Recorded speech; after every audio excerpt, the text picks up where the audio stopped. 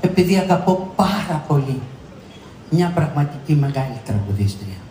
Αποφάσισα να πάω ένα δικό της τραγούδι που πραγματικά το έχουν γράψει δύο σπουδαίοι συνθέτες, ο Γιώργος Μανίκας και ο Νίκος Ελληναίος. Αυτή η μεγάλη τραγουδίστρια πραγματικά είναι σήμερα εδώ. Κάπου μου, μου είναι. Πού είστε; Εκεί. Λέκανα.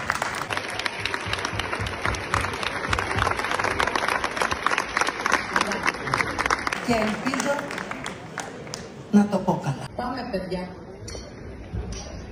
Δώσ' μου το καιρό, τι ζητάς να βρω Είμαι μια σκιά δίπλα σε ένα φως Και έρχονται στιγμές που νομίζω πως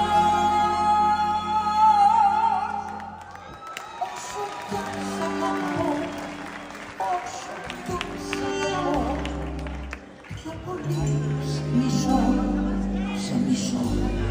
σε μισώ, σε μισώ